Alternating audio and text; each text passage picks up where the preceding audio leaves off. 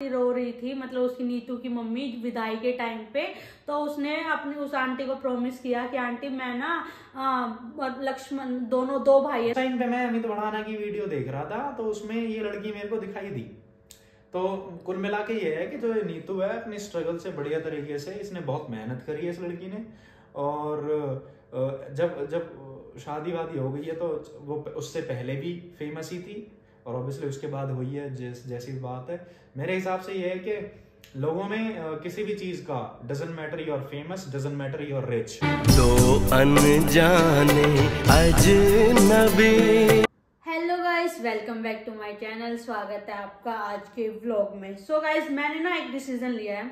मैं डेली के दो व्लॉग डालूँगी। एक स्पेशल सिर्फ़ ये डेली रूटीन और एक स्पेशल कमेंट्स कमेंट्स सिर्फ़ उसमें वो पाँच या दस मिनट का व्लॉग होगा, जिसमें हम सिर्फ़ कमेंट्स की ही बातें करेंगे कमेंट्स के ही रिप्लाई करेंगे। तो आज मैं, अभी आज वाले व्लॉग में मैं कमेंट के ही रिप्लाई करूँगी। कुछ ऐसी ही कमेंट्स प्यारी प्यारी केयर वाली एंड ऐसी ही कमेंट्स के रिप्लाई करती हूँ आज मैं। तो फ़र्स्ट कमेंट है गीता विग आपकी वाइफ लड़कों के जैसा क्यों बोलती है जैसा मैं आता हूँ खाता हूँ ऐसे अब तो बेबी भी होने वाला है। अब तो लड़कों की तरह बोलना छोड़ दो लेडी है तो लेडी की तरह ही बोले। तो डियर मैं सच्ची बताऊँ ना अपने नाइन्टी परसेंट तो मैं इतनी चेंज हो चुकी हूँ कि हाँ भाई मैं लड़की बन चुकी हूँ। बट मेरी आदत है बचपन से लेके शादी के बाद तक की भी कि मैं हमेशा ऐसे ही बोलती हूँ। अब तो बहुत चेंज आ गया कि मैं बहुत बार बोल देती हूँ खाती हूँ आती हूँ जाती हूँ तो ये लड़की वाले फीमेल वर्जन में। बट आ, मुझे अच्छा लगता है और मेरी ये आदत भी है। और अनी को ये आदत मेरी बहुत क्यूट लगती नहीं लगती नहीं लगती। लगती लगती। है इनका चेहरा बता रहा है। आपका चेहरा दिख भी नहीं रहा होगा ठीक है? लो। हैं लो। तुम्हारे बिना तो मेरे ब्लॉग नहीं चलते ना तो तुम्हें तो आगे होना चाहिए। बस दादाजी भागे ब्रश नहीं करा इसलिए? नहीं फिर बोलेंगे ना सब क्या? कि भाई चैलेंज एक्सेप्ट नहीं हो रहा ना तुमसे। तो नेक्स्ट कमेंट है। हाँ ये बोल रही है कि यही गीता भी की बोल रही है पहले के टाइम में तो तोता नाक को लकी माना जाता था। तो डियर अभी भी माना जाता है जिनकी तोता सी नाक होते हैं वो लकी होते हैं। And he is very lucky क्योंकि मैं इनको मिल गई हूँ। यस नहीं राइट पहले के टाइम में माने जाता था। इस टाइम में नहीं है। पहले का टाइम मतलब पास्ट ठीक है? देखो देखो पहले का टाइम पास्ट और पास्ट मतलब हमारी शादी होगी एक साल। एक साल हो गया तो मतलब वो पास्ट है। तो पहले के टाइम तो उस टाइम में माना गया तो तुम मिल गई ये कहना चाहती हो? Yes. अरे डंडा कहाँ यू? एक है रीना शर्मा आप ज़्यादा बैठा मत करो कम काम काम कम करो। बैठा मत करो काम करो और रेस्ट के लिए लेट जाया करो। बेबी को कंफर्टेबल फील होगा। बस मेरा सजेशन आ गया आपकी मर्ज़ी। तो डियर मैं रेस्ट क्या बताऊँ? 24 घंटे होते हैं दिन में। 24 घंटे में मैं 18 घंटे में रेस्ट करती हूँ और, और वो भी बेड रेस्ट करती हूँ। काम क्या है? बस थोड़ा सा ही काम है। अपना खाना पीना खाना बना देती है किचन विचन का काम है। और और तो मेरे ख्याल से कुछ है नहीं। हाँ बस लड़ाई झगड़ा क्योंकि मेरा खून पीते रहते हैं तो मेरे को आई हाँ वो ये पूरा घर भी तो है ना। हम्म। हाँ तो ये कर देती है हफ़्ते तो हफ़्ते हफ़्ते दो हफ़्ते तो ये तो ये- रोज पोछा मारती है ऐसे बढ़िया तरीके से। और आगे आगे एक बाल्टी ले लेके चलते हैं आगे आगे। लो लो बेबी लो बेबी इधर।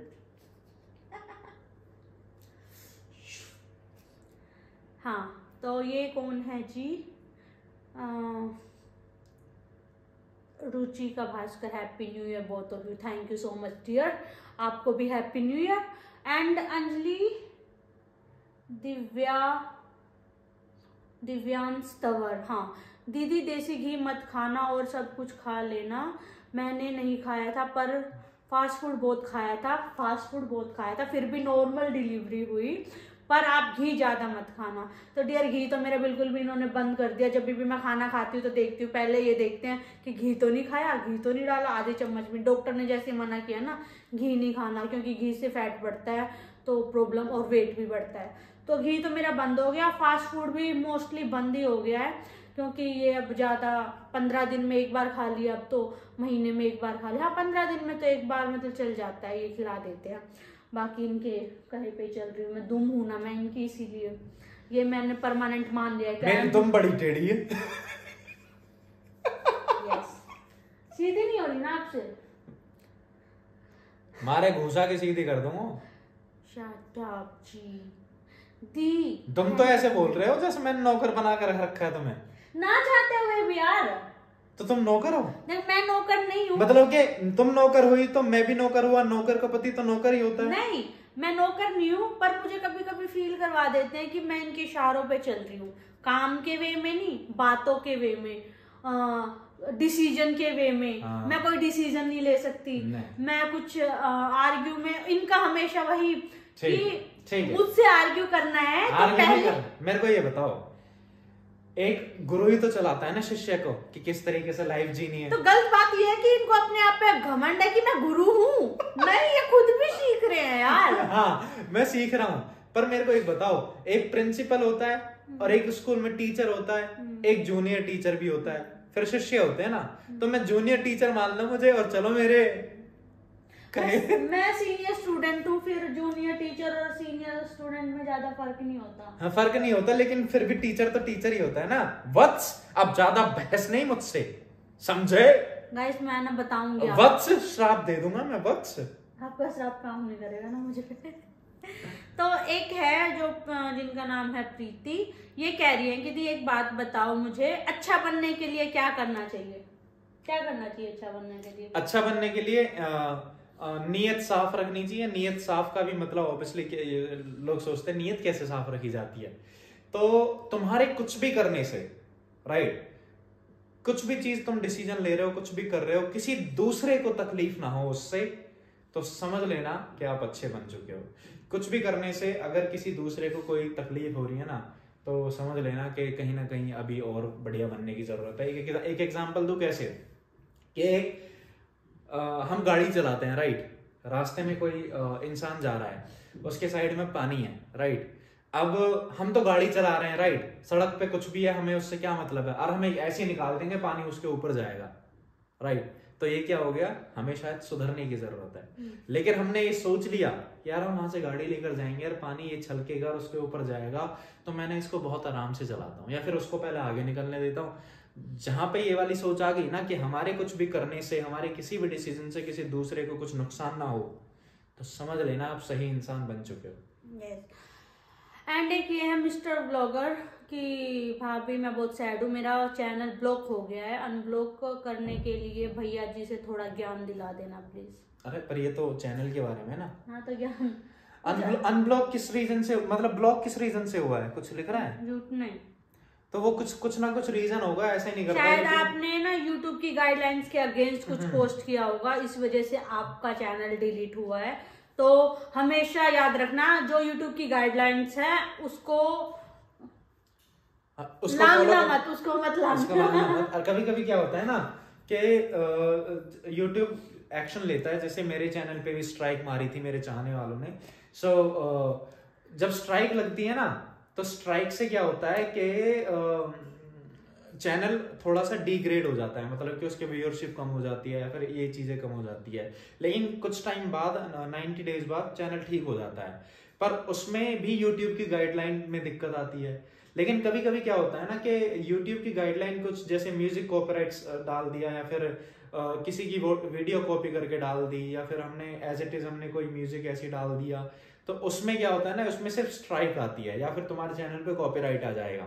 बट हम कुछ ऐसी चीज़ें कर देते हैं कि जो यूट्यूब के सिलेबस से ही बाहर है मतलब जहाँ पे वो तुम्हें वॉर्न नहीं कर सकता। जैसे कि तुमने एज इट इज़ किसी का कंटेंट उठाया, जिसमें म्यूज़िक भी है, उन्हीं का कंटेंट है, वही करेक्टर है, और तुमने डाल दिया राइट या फिर तुमने कुछ अडल्ट वाली चीज़ें कुछ डाल दी राइट तो ये ऐसी चीज़ें हैं कि यूट्यूब बख्शेगा नहीं, कोई भी है, सीधा खत्म चैनल उसके बाद तुम्हें ऑप्शन ही नहीं मिलेगा इस चैनल को तुम चला सको।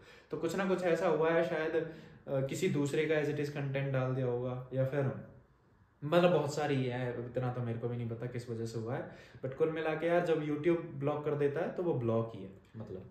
ओके तो एक कमेंट है पीयूष के नाम से। दीदी आपकी आवाज़ बहुत प्यारी है आप मेरा नाम लेना ब्लॉग में। मैं Rekha thank you so much Rekha dear कहाँ से प्यारी ऐसे बोलती है? "ए, आपकी आवाज़ बहुत प्यारी है ये कोई प्यारी आवाज़ होती है। प्यारी आवाज़ बताओ। साइलेंट हो गई ना मैं। ना ना ऐसा मना ऐसा ना हाँ तो प्यारी आवाज़ है ना। एंड एंड एंड एंड कौन है? हाँ Neha Tyagi please next vlog में मेरा नाम लेना। Thank you so much Neha dear and ये क्या है? दी में फ़र्स्ट सुरभि राजपूत है। दी मैंने फ़र्स्ट टाइम कमेंट करा है। आप दोनों बहुत अच्छे हो। भैया बहुत ही बातें करते हैं। और डांस भी बहुत अच्छा करते हैं सच में। चार स्टेप का डांस लोगों ने बड़ा पसंद किया है। यो भी क्या है कभी कभी मोसू। लेकिन चार ही तो स्टेप आवे हम्म, मैंने चार ही चार आवे है ना। हम्म, ये बहुत शुक्र वाली बात है अगर आठ आते तो पता है ना कहा हो जाता? तहलका मच जाता। अनीश जी की नो ये है अमोर अमोर हाँ। अनीश जी की नोज़ तो खानदानी नोज़ है। तो कोई हाँ। भी उनकी नोज़ को कुछ नहीं कहेगा। अब तो मुझे आपके बेबी को देखने के लिए तीन मंथ का वेट करना पड़े रह गया प्रीत। जी बस तीन मंथ में क्यूट सा लिटल वन आएगा आएगा। ठीक है? उसके बाद वीडियो देखने में और भी ज़्यादा मज़ा आएगा। अच्छा ये शायद कोई ना जानते होंगे क्योंकि मेरे ताऊ चाचा किसी को भी देख लेना ऐसी ना आगे सबकी। तो वैसे ना एक कमेंट थी अ, मैंने उसका स्क्रीनशॉट लेना भूल गई। अ, शायद आप सब सब तो जानते ही होंगे उनको बहुत पॉपुलर यूट्यूबर्स हैं। लखनीत मेरे फेवरेट मतलब कि मेरे को लगता है कि हाँ भाई मुझे ना उनकी फैमिली बड़ी अच्छी लगती थी। उनका ब्लॉग देखने में भी ना बड़ा मज़ा आता था। तो यार नज़र लगा दी तुमने। नज़र लग गई यार मतलब कि ना अभी जैसे सुनने को आ रहा है उनकी फैमिली कंट्रोवर्सी मतलब इश्यूज़ चल रहे हैं फैमिली में। बट जब भी भी जैसे मैं उनके कभी ब्लॉग देखती थी ना वीडियोज़ आ जाती हैं तो ना मतलब एक ना अच्छी वाली फीलिंग आती थी पॉजिटिव सी कि यार कितनी अच्छी फैमिली है, कितने अच्छे से रह रहे हैं, कितनी अच्छी बॉन्डिंग है।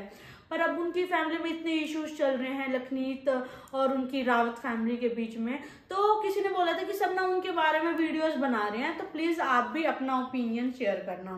तो गाइज़ अपना ओपिनियन क्या शेयर करूँ? जब तक हमें दोनों पहलू की जब बात नहीं पता कि देखो। हम हम कौन होते हैं भी ओपिनियन शेयर करने वाले सबसे बड़ी बात पहले मैं दूध दे गया हूँ कभी तुम बाद में मुझे बोलो तुम स्टार्ट करो जब तक। हाँ देखो हम कौन होते हैं भी ओपिनियन शेयर करने वाले? ऐसा कोई मेरे को ये बताओ एक प्रैक्टिकली चीज़ सोचो कि ऐसा कोई परिवार बना है जिसमें कोई इशू नहीं है। हर परिवार में इशू है। हर कहीं ना कहीं, यार इंसान है। अगर इंसान में अगर दस लोग हैं या फिर पाँच लोग हैं, हर किसी का दिमाग अलग तरीके से मैन्युफैक्चर्ड है मतलब कि उनकी सोच अलग है। तो ऐसा नहीं हो सकता कि किसी परिवार में इशू और भगवान ने हमारे साथ बहुत तगड़ी गेम खेली है।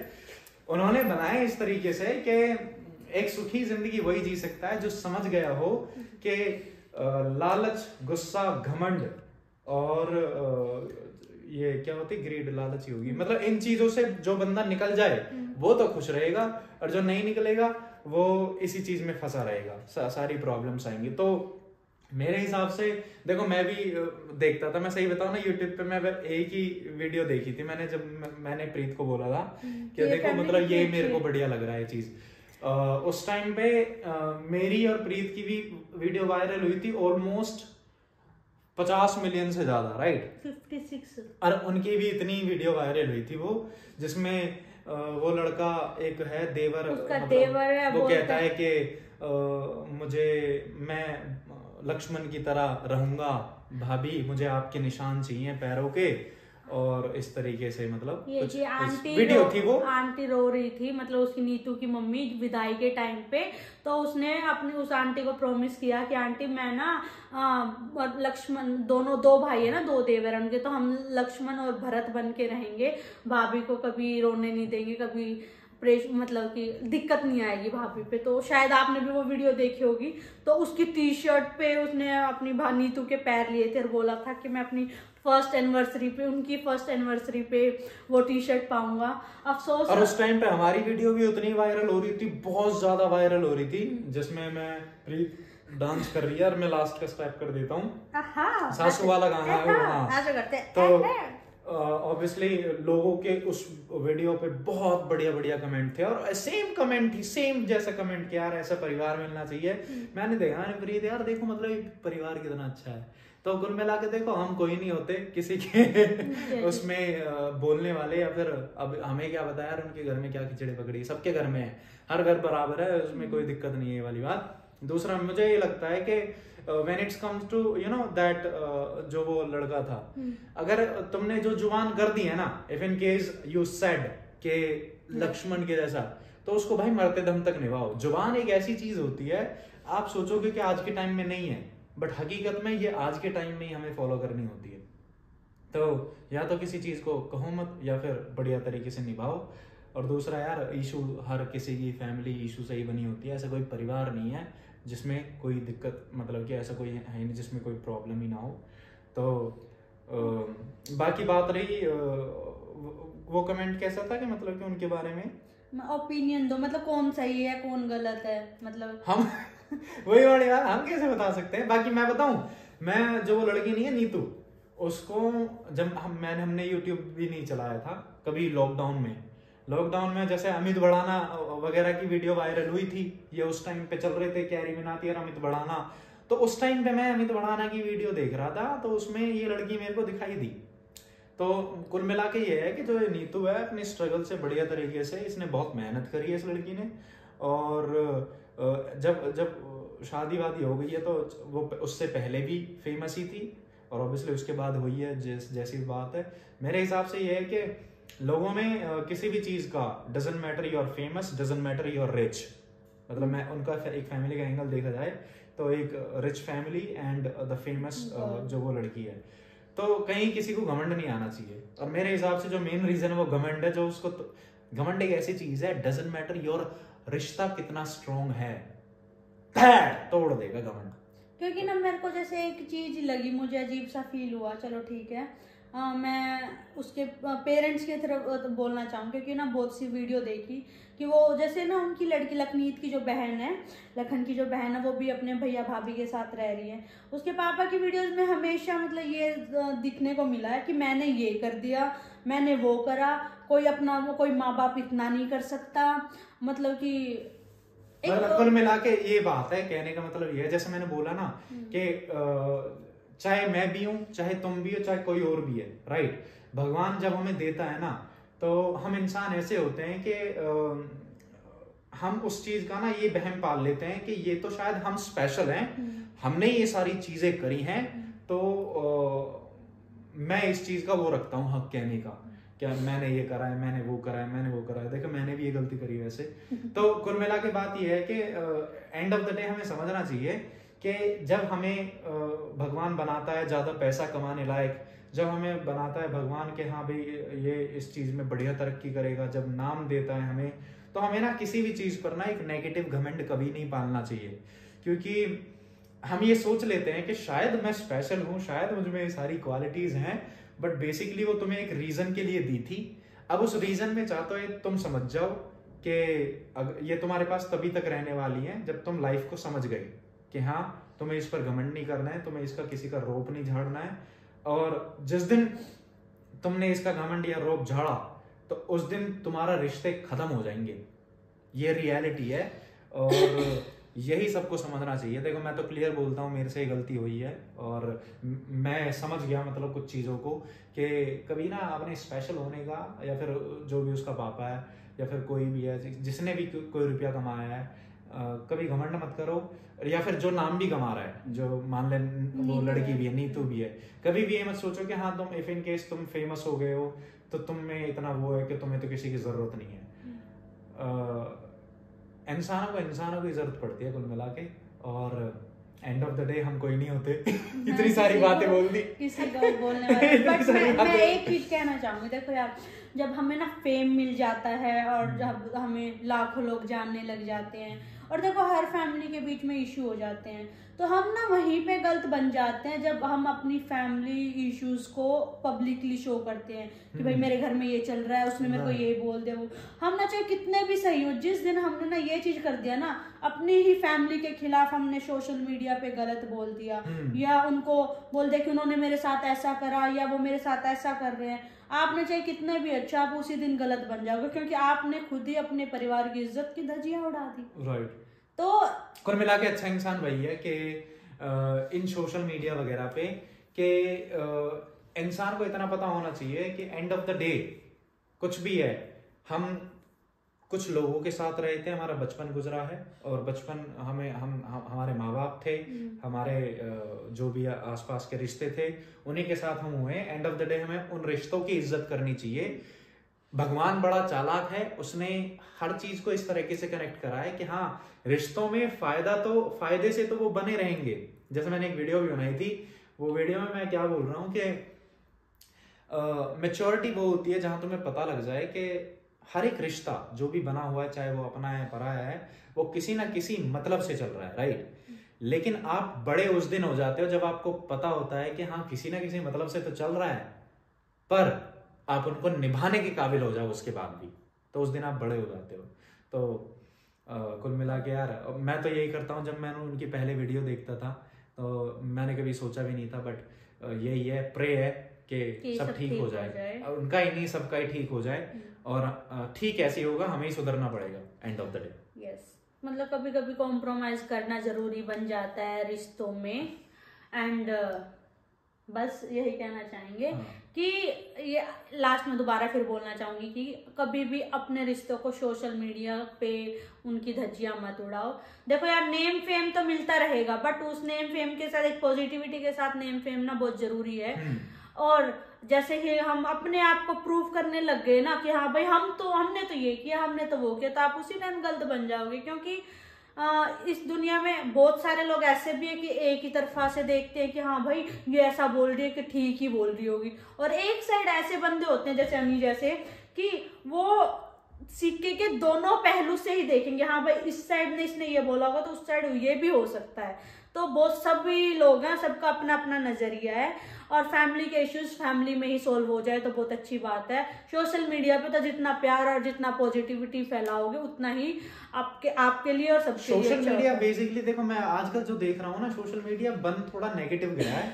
बट देखो एक टाइम पे होता था कि अगर एक अच्छा शिक्षक है मतलब एक गुरु अच्छा है तो उसको एक क्लास लगानी पड़ती थी। उस क्लास में आसपास के गाँव के बच्चे आते थे और वो लिमिटेड लोगों को ही एक शिक्षा दे पाता था राइट अगर वो अच्छा है तो। लेकिन आज के टाइम पे तुम पे इतनी अच्छी क्वालिटी है सोशल मीडिया की अगर आप सच में अच्छे हो ना अगर आप अच्छी शिक्षा देते हो तो आपकी बातों को घर बैठे लाखों करोड़ों लोग सुन सकते हैं और वो सुधर भी सकते हैं राइट लेकिन एल्गोरिथम इस तरीके से सेट है ना मतलब कि आपकी नेगेटिव चीज़ें इतनी हवा में उड़ेंगी बहुत ज़्यादा। आप किसी की बुराई कर दो आप किसी के साथ लड़ाई कर दो आप कुछ भी कर दो एकदम से वो चीज़ें वायरल हो जाएँगी। तो कुल मिला के ये है कि सोशल मीडिया का अगर यूज़ करना है तो अच्छी चीज़ों को वो करने के लिए यूज़ करो। खुशी होनी चाहिए वीडियोस में। जैसे मैं प्रेत के साथ जब मैंने पहले डांस की वीडियो डाली थी तो ऐसे मतलब पहले तो कभी सोचते ही नहीं है कि शादी के बाद इस तरीके से कोई रहेगा। लेकिन पहले डांस की वीडियो डाली थी तो अ, मैंने प्रीत से बोला मैंने कि यार लोग जिस तरीके से ये कमेंट कर रहे हैं ये क्या डिप्रेशन से भरे हुए हैं क्या? यार तुम्हारी ज़िंदगी कितनी अच्छी है तुम कितने अच्छे हो तुम इतने अच्छे हो। मैंने कहा यार ऐसा क्यों है? तो उस दिन हमने डिसीज़न लिया था मैंने अरप्रीत ने कि यार अच्छी वीडियो बनाएँगे ऐसी की तैसी। If we are dancing together तो इसका मतलब यह है कि वी आर शोइंग लव। और ये लव दिखना बहुत ज़रूरी है। और पता है क्या ये सिर्फ़ ना रील्स में दिखना ज़रूरी नहीं है रियल लाइफ में भी दिखना ज़रूरी है। राइट क्योंकि देखो आपने ना हमेशा नोटिस किया होगा मतलब कि जो मतलब कि इस चीज़ को फील करते हैं कि एक फेक भी होता है एक रियल भी होता है। जिस तरीके से हम अपना डांस वांस जो भी करते हैं अपने रील्स बनाते हैं वही चीज़ हम अपनी रियल लाइफ में भी अपनाते हैं क्योंकि हम ना सिर्फ़ फ़ोन तक सीमित नहीं रहना चाहते। हाँ कल, कल कल डांस करके दिखा रही थी ऐसे ऐसे मैं तो कथक भी कर सकती हूँ। मैंने की मोटी सी तेरे बस की ना आप कुछ अपना तो बढ़िया लगे। रोटी बना के लिया। कोई नहीं जब एकदम से पतली हो जाऊँगी ना फिर। मेरे से ही चैलेंज करो तुम। और कौन है मेरे पास चैलेंज करने के लिए? तुम डोले का साइज़ देखा है? मेरे मुँह का साइज़ देख अब गोल मोटोल हो गया। तो guys thank you so much हमारी वीडियोस देखने के लिए। बट यार मैं एक लास्ट में एक चीज़ कहना चाहूँगी। यार देखो तीन लाख होने वाले हैं सब्सक्राइबर्स बट मेरी रीच बिल्कुल ही डाउन है। यार ब्लॉग की कम से कम एक लाख तो रीच होनी चाहिए शेयर कर दो शेयर शेयर कर दिया करो यार ब्लॉग को और अपना प्यार बनाए रखो। एंड इसी के साथ हम आज का ब्लॉग यहीं पे समाप्त करते हैं। Tata bye bye signing off ना